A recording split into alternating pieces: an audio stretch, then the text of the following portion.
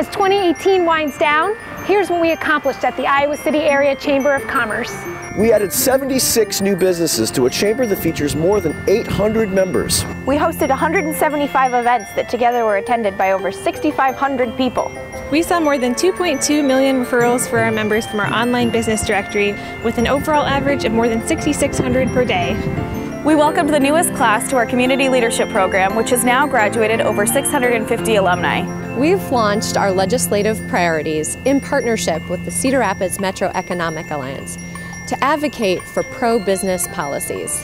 And we have big plans for 2019 as we continue to promote the growth of the region, support community development efforts, address workforce challenges, and more.